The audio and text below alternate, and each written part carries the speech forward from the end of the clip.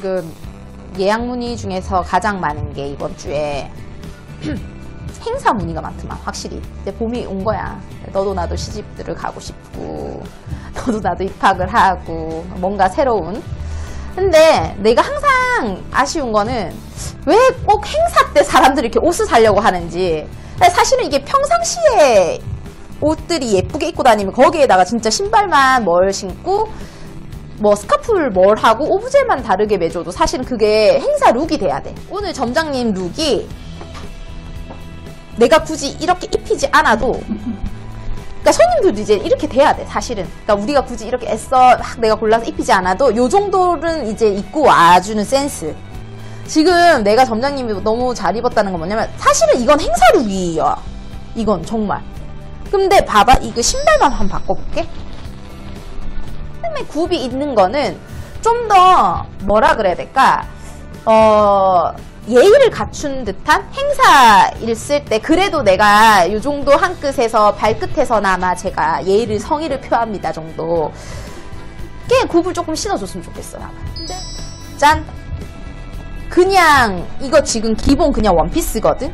점장님이 또 센스있게 이게 원래는 이렇게 긴팔이야. 긴팔로 이렇게 입는 건데 지금 요즘 날씨에는 늘 말하지만 이렇게 살이 좀 보이고 늘 말하지만 시계가 살짝 보여줘야 그 뭐랄까? 이렇게 좀 산뜻한 쌈박한 그 맛이 있단 말이야. 그러니까 이 상태에서 이런 자켓이 하나 있어야 돼. 전천후 자켓이 있어야 돼이 자켓이 그냥 이런 정갈한 자켓이 있어야 돼. 근데 이 정갈한 자켓을 왜 내가 만들었냐면 보통 이런 자켓들 소매가 굉장히 핏하게 나와. 그러면 어떤 현상이냐면 안에 뭘 못 입는다고 팔뚝 굵은 사람들 우리 아줌마들은 이거 소매 불편해서 세상 그럼 뒤에가 어떻게 돼?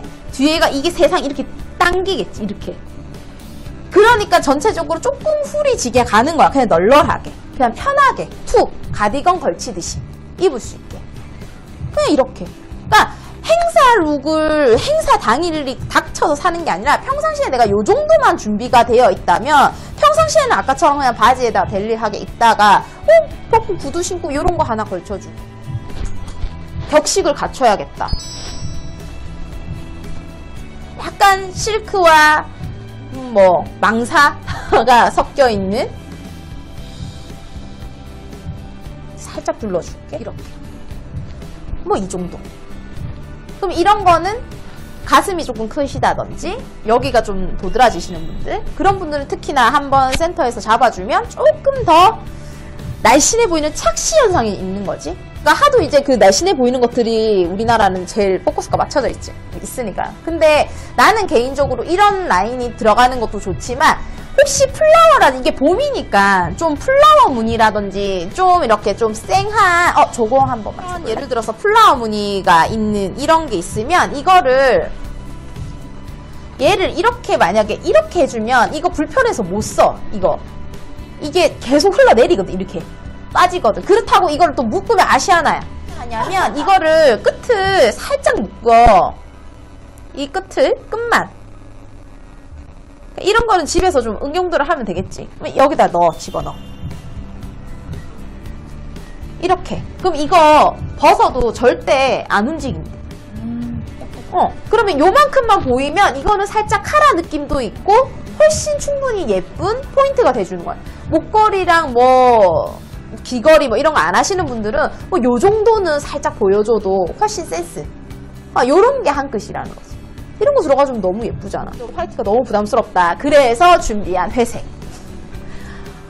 늘 말하지만 우리는 똑똑하게 만드니까 이게 딱 그레이가 아니야. 이렇게 보면 이 조직감이 살짝 보일지 모르겠는데 이게 어 이렇게 직조가 있어. 슬라브라 그래야 되나? 이게 있는데 이게 베이지하고 회색깔이 섞여 있는 믹스되어 있기 때문에 이게 정확하게 회색인지 베이지가 아닌 컬러가 주는 고급스러운 맛은 분명히 있거든. 이거를 한번 입혀볼게. 점장님한테. 점장님 이거 한번 입어. 안에서 내가 다른 걸 줘볼게요. 지금 짠 뾰로롱 이게 완전히 다른 옷 같지? 자 이런 옷을 입을 때 가장 꿀팁은 뭐냐면 물론 아이보리 대 아이보리가 들어가도 굉장히 예쁠 거야. 굉장히 퓨어할 거야. 근데 이거는 나는 이거를 자켓을 만들었을 때 가장 포인트는 고급스러웠으면 좋겠어. 근데 정말 비싸지 않은 가격에서 고급스러움을 내는데 그래서 라운드를 굴렸단 말이야. 근데 이런 라운드를 안에 입을 때 안에 게 되게 중요해. 이건 면도 아니고 실켓도 아니야. 니트란 말이야. 아주 고급 소재의 니트인데 이거를 톤을 맞춰서 입어야 돼. 이렇게. 톤온 톤으로. 그래야 이 자켓의 고급스러운 맛이 극대화가 된다는 얘기지. 말했던 뭐 이런 실크 소재가 믹스되어 있는 이런 게 있다면 그래도 이게 너무 폭이 크지 않은 거. 막 이렇게 막 너무 머플러 같은 느낌이 아니라 조금 정갈하게 갈 수 있는 거를 마찬가지야. 톤을 맞추자고. 현아 이게 실버 느낌이 살짝 있는 그레이거든. 자, 이렇게. 이거 그냥 우리 저번 주에 했던 우리가 만든 트리오 세트 중에 스커트야. 그 아주 이지하고 저지에 가까운 그 소재인데도 이렇게 입었을 때 핏감은 전혀 어색하지 않지. 대신에 여기서 이제 조금 더 센스를 발휘한다면 한 끗 다르게 가자.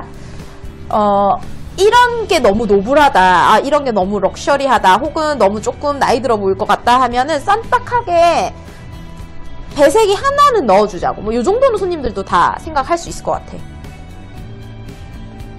뭐 이거를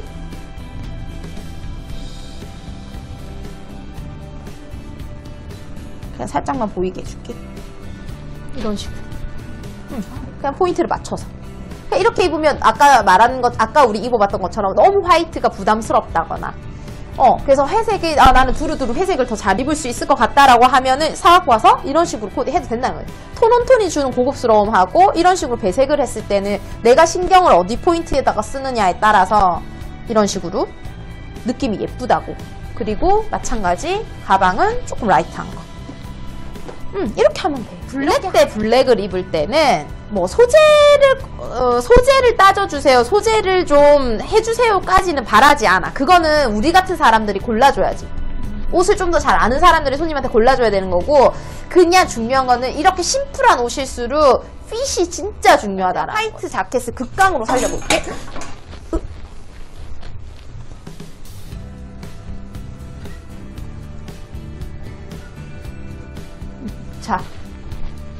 끝이야. 코디는 이런 게 코디지. 막 뭐를 해주고 연출을 해주고 그게 아니고 정말 아이템 전쟁이야. 예쁘잖아. 예쁘다. 응. 여기다 검정 색깔 스커트, 입- 응, 마찬가지지. 여기다 아까 그 블랙 스커트를 입으면 또 느낌이 달라. 그 스커트만 한번 갈아입자. 음, 음, 음. 예쁘다. 예쁘잖아. 코디는 이런 거라고. 내가 이 아이템만 갖고 있었다면 다 입을 수 있잖아. 물론 여기서 어떤 라인, 그러니까 색깔이 중요한 게 아니야. 이거를 보는 사람들이 제발 느꼈으면 좋겠는 게 색깔이 중요한데 색깔은 두 번째야. 그 가장 먼저는 핏이라는 거. 이 핏이었을 때 이렇게 all black이 들어갔을 때 이게 예쁜 거지. 아, 나 블랙 저거 뭐 있는데 입었는데 여기다가 만약에 뭐 훌 있는 스커트라든지 주름, 맞주름 뭐 이런 거 들어가 있는 막 여기까지 오는 스커트라는 막 플리츠 스커트 이런 안 된다고. 그런 거는 저 가야 돼. 백화점 마담 뭐 이런 데 가야 돼. 응. 그러니까 나 요거 예쁘다. 나 요렇게 입으면 이거는 3, 40대들이 아주 예쁘게 입고 어디든 갈 수 있는 행사 룩이 되는 거고. 이런 바지를 어 이게 살짝 이게 살짝 광도 있다 이게 되게 이게 고급스러운데 이 바지를 이런 바지를 사람들이 자꾸 너무 행사 룩으로만 입는 게 난 좀 아쉬운데 이거를 그냥 어 이렇게 아주 클래식하게 정갈하게 입어줘도 예쁘다고. 어 그냥 이렇게 입어도 예쁘고 올해는 조금 보니까 약간 이렇게 뭐라 그럴까? 이렇게 아주 현란한 이런 나염 프린트? 어 이런 것들이 좀 한 끗씩 들어가는 게 조금 뭐 트렌드인 것 같아. 뭐 여기저기 지금 보이는 것들을 보니까. 근데 이런 것도 너무 많이 보이면 아까도 말했지만 항공 대한항공 뭐 아시아나 항공 되는 거니까 아주 살짝만 그냥 보여줘 보자. 그냥 이 정도. 그냥 이 정도 주면 이거는 되게 느낌이 확 다르다? 그게 별거 아닌데 그러니까 이런 컬러를 입었을 때 약간 이런 쨍한 것들이 한 번씩은 포인트로 들어가지고 아 난 저런 빨간 색깔 너무 무섭다 하면은 그냥 톤 다운이 된 것도 상관없고 뭐 스트라이프도 상관없어 다만 엣지를 조금 주라는 거지. 그래도 트렌드에 조금 발맞춰 나가는 느낌을 주자고. 그럼 봐봐. 어 저는 그런 셔츠도 마음에 안 들고 어 전 저번 주에 트리오 세트를 다 구매했습니다. 바람직한 게스트가 있을 수 있지. 브라보다. 이런 제대로 된 게 하나가 있으면 된다고. 요즘 애들 너무 옷을 인터넷으로 배우지? 그건 안 돼. 그러니까 소재는 분명히 볼 줄 알아야 된다고. 돈 만 원 더 주고, 어? 돈 5천 원 더 써서 예쁜 거를 가지고 있어야 유행 안 타고 예쁘게 예쁘게 이런 식으로도 입고 저런 식으로. 그러니까 응용만 좀 할 줄 안다면 옷을 입는 방법을 알아야지. 내가 우리가 이걸 왜 공개하는데? 어, 이걸 배우시라고. 옷 입을 수 있는 팁을 배우시라고 이걸 올리는 거야. 응.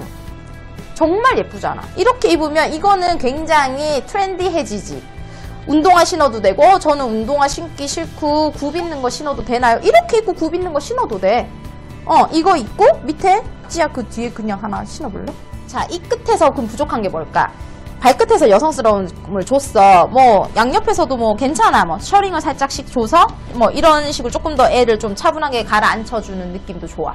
근데 나는 여기서 조금 더 엣지를 주고 옷을 좀 잘 입는다 하면 이런 텍스처, 이런 약간 후들후들한 이런 텍스처의 스카프가 있다면 그냥 이렇게 그냥 떨어뜨려 볼게. 음, 예쁘다. 그러면 어떻게 돼? 다리부터 목까지 선이 올라가 버려. 쭉 올라가 버려. 그러니까 연장선이 되버려. 훨씬 키가 커 보여. 어, 물론 얘 똥머리도 한몫하지만 똥머리를 못 하시는 분들도 그냥 이렇게만 하는데 팁을 하나 준다면 이거를 할 때 이렇게 느슨하게 내리지 마. 이거를 느슨하게 내리면 잘못하면 되게 나이 들어 보여. 이거를 그냥 목에 바트게. 이렇게 해야 이게 그래야지 좀 더 시크하다. 그러니까 요렇게. 그리고 조금 어, 날씨가 조금 춥다 그러면 이런 식으로 조금 매치. 뭐 행사 룩이 필요해서 옷을 샀지만 그 행사 룩으로 산 옷은 데일리로 충분히 입을 수 있게끔 코디하시는 방법을 계속 연구하시라. 오늘 여기까지 하겠습니다.